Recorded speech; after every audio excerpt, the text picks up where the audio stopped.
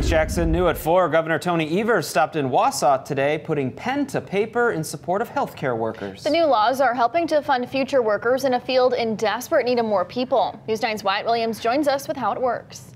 I'm here at North Central Technical College, where earlier today Governor Evers stopped by to sign a number of bills into law, all aimed at helping the oral healthcare industry. The public signing ceremony showcased five nonpartisan bills, all to help Wisconsinites and their well-being. Evers signed the bills at NTC due to their strong dental hygienist and assisting programs. And while bills in legislature can be complicated at times, Evers says this was plain and simple. The biggest takeaway, people are going to have better oral health. As simple as that. And oral health is tied to all sorts of other things. If you have horrible oral health, it impacts every aspect of your life. And with both sides of the aisle in support, the bills were signed and will be put into use immediately.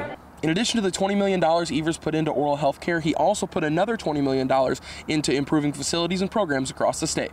In Wausau, Wyatt Williams, News 9, WAOW. Thanks, Wyatt. We